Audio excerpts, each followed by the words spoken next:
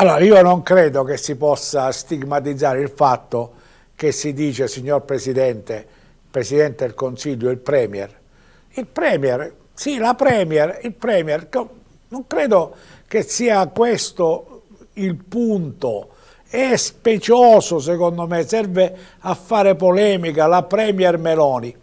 Eh, la Premier Meloni dovrebbe essere criticata per tante altre cose, secondo me. Eh? Soprattutto per quello che riguarda la politica internazionale. Oggi, per esempio, c'è Zelensky che ieri ha, ha, vissuto un brutto momento, perché se ne va ad Odessa, dove, attenzione, non ci dimentichiamo, c'è una guerra. Io credo che in questo periodo ci siamo abituati a queste guerre che guardiamo noi da lontano, perché grazie a Dio non ce l'abbiamo, quindi ti immagini e allora quello che dice, sai, hanno bombardato un drone e è caduto su un palazzo. Perché voi pensate che uno prende una bomba e la fa arrivare esattamente dove pensa che sia senza pigliare un civile? È una guerra. E allora ieri, se il presidente Zelensky se ne va in visita con il presidente della Grecia a Odessa dove c'è una guerra, non può restare impressionato dal fatto che gli sia arrivato un missile a 150 metri di distanza, quella è una guerra. Ed anche questo è un altro problema, è una guerra dove non si può uscire dai confini, perché metti caso, che so, l'Ucraina per una questione che non sappiamo bene, piglia, invade, rompe e va a finire in Russia e avanza verso Mosca, ma lo capite cosa succederebbe? Quindi è una guerra anomala che la cosa più giusta, ora come ora, è solo di finirla. E io quindi credo che sarebbe il caso di criticare il Premier Meloni, la Premier, sentite voi, ma io dico il Premier Meloni, perché non possiamo continuare a fare questo, perché è senza speranza, cioè è una cosa che non si può vincere, non, si, non, non la possiamo vincere, o la buttiamo sulle bombe atomiche e vediamo con nave Ciuzzai, oppure io non posso mai pensare che l'Ucraina possa in qualche modo arrivare a conquistare la Russia, perché la, le vittorie, come, per fare in modo che poi ci sia il trattato come sia, devi vincere. E per vincere cosa devi fare? Devi, ti devi mettere contro la Russia che ha 300 milioni di abitanti, quello che è. Sì, ha tutti i suoi problemi, ma non sarebbe meglio, come hanno detto i più importanti osservatori, che è il caso di finirla, trovare l'accordo, come si dice in qualche caso, fare buon viso a cattiva sorte, bisogna anche andare a vedere quanti sono contenti o meno di cambiare nazione, perché anche questa sarebbe una cosa da andare a vedere, gliel'avete mai chiesto a quelli dell'Oblast, non so dove, se vogliono essere russi o vogliono essere ucraini, perché molta gente non voleva essere ucraina, preferiva essere russa perché era russa, perché l'Ucraina non è che la, le ha conquistate nella guerra precedente questi territori, ha preso una penna, ha detto questo è mio, siamo subito dopo la, la, diciamo, la caduta del muro di Berlino, e senza, dice questa è Ucraina. Vabbè, allora la Russia era completamente a zero e quelli hanno potuto fare queste, queste righe, ma purtroppo dopo ci si è accorti che era forse un po' troppo per quanto riguarda. Allora il momento è questo, finiamola perché il problema economico ci sta attanagliando, siamo qui, noi stiamo soffrendo in modo incredibile che questo si vede. Quindi non mi preoccuperei del signor Presidente o signora Presidente, siamo solidali con la giornata della, della, donna, domani andremo a fare le iniziative, quelle della rete 25 novembre, le proteste, tutto quello che volete, però cerchiamo di convincere il Premier o la Premier da donne a finirla, perché poi abbiamo i problemi che sappiamo tutti, i trattori. Domani c'è una conferenza stampa, una conferenza stampa del movimento degli agricoltori che eh, ci invita alle ore 11, il problema è, è capire che cosa vogliono, no? perché la preoccupazione è che si arrivi a qualcosa in più.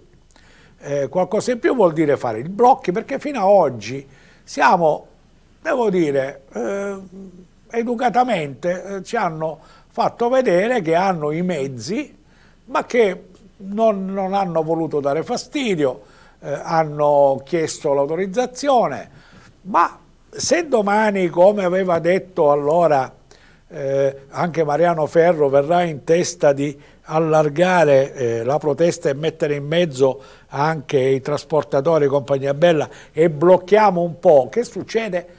Ma perché succede questo? Perché siamo da due anni con l'acqua alla gola, da quando è scoppiata questa cavolo di guerra in Ucraina, lascia stare quella in Medio Oriente che ha altre, altri sviluppi, altre questioni, ora ci sono i primi morti, eh, ma è una guerra, anche quelle, cioè, io non lo so, si vorrebbero fare la guerra dove non ci sono morti, la fanno con, con, i, con i, cosi, con eh, la, la, PlayStation, ma le guerre muoiono le persone e lo sanno, c'è una generazione di ucraini morta, una generazione di ragazzi di 20, 25 morti, ma che piacere hanno avuto?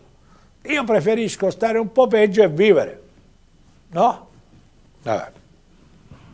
Quindi vediamo che cosa ci diranno questi del, della, eh, dei trattori perché non c'è dubbio che stanno accadendo le solite cose, poi parleremo anche della concorrenza nella grande distribuzione, stanno accadendo delle cose che eh, eh, dobbiamo superare perché va bene che esiste questo incredibile divario, perché nel nostro paese ci sono persone ricchissime che non hanno problemi, se ne vanno al supermercato, non gliene frega niente, quanto costa l'olio, ma che fate 10 euro, ma io ti, ti, immagini, ma ci sono quelli che 10 euro per loro lo possono comprare e così via.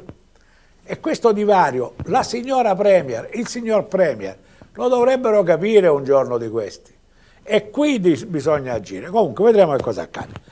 L'altra cosa riguarda i bleacque e ne abbiamo parlato di bleacque perché c'era questa storia particolarmente delicata dell'emolumento al, eh, all'ingegnere poi domani che è l'amministratore unico di questa società. Attenzione, poi domani mica, mica l'ha deciso lui, cioè, i bleacque l'hanno fatto i sindaci. Si sono messi tutti insieme, hanno detto la cosa migliore è fare una eh, società in house combattendo, eh, subendo ricorsi al TAR, quindi tutti e 12 sindaci hanno deciso che la cosa migliore era fare una società in house dove eh, eh, hanno scelto tutti insieme un amministratore unico che è Franco Pedovani, non è che ce n'era un altro. Io non credo che ci fosse stato qualcuno che diceva la faccio io, per cui, ah, Cazzarola non gliela facciamo fare a lui, avete scelto lui. Io credo che sia stata una scelta motivata sotto vari punti di vista e c'era anche il problema dell'emolumento. Io un lavoro di questi gratis non lo farei, perché una cosa è essere il eh, funzionario, piglia lumiera, no? senza fare nome e cognome, poi ora quello mi querela.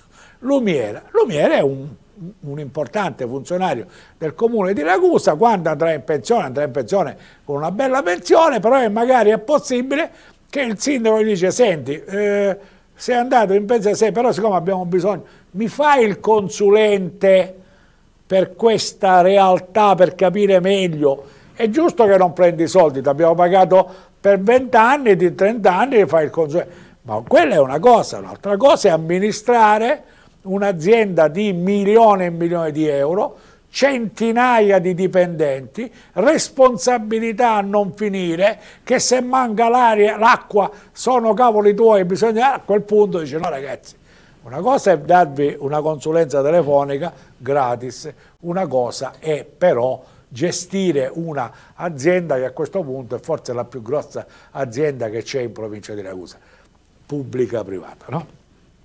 Allora, alla fine ci sono state lettere, tutte queste cose. Oggi che cosa è successo? Si è arrivati a un accordo temporaneo, cioè a per ora, a per ora lo stipendio non glielo diamo. In attesa di Franco Poidomani resta in carica, quindi c'è questa sospensione delle, dello stipendio e poi vediamo perché si faranno eh, domande a giudici, avvocati, tutto quello che volete voi, per sapere se è legittimo o non è legittimo. Sentiamo il sindaco che cosa dice.